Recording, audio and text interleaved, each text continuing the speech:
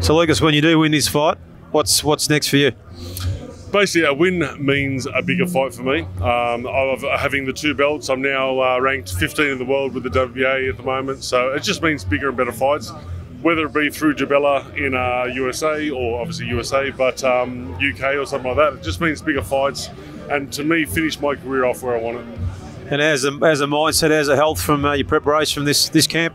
Honestly, very well. Um, as I said, a lot of the times things go wrong, whether it's an injury or, or something. But like this time, it's been absolutely perfect. I haven't, I haven't focused myself on what weight I'm at. I've just focused on how I feel and if I'm fit enough. So I'm very happy. And la- last fight, you we obviously lost to Gallen. What, what happened there? Uh, I've had a win since then and, and, no, a, no, and a belt, by the way. No, but, no, uh, no, yeah. See, honestly, it, it, it's hard because the public see that I lost to a footballer, and I'll be forever known as the guy that lost to a footballer, which is fine. But I was hit with the wristband five times over the back of the head, and it popped my eardrum. So I basically had no balance. I was fighting cross-eyed.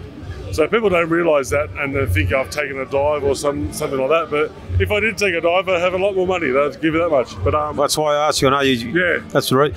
So the crowd being close to fifty thousand this on Sunday must be a fantastic thrill. Sensational. Um, it's great for Aussie boxing. Uh, great for George to see it happen. Great for Melbourne, obviously. But yeah, it's just good to be a part of it all.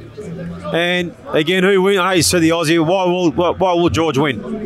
I think he's right uh, mentally. Uh, I think he's stepped up a gear, and I think he's just uh, physically and mentally where he should be, which is great. Having the Aussie uh, Aussies behind him at the stadium is just going to pump him up even more. So it's going to be awesome. Good luck, Lucas. Take care, mate.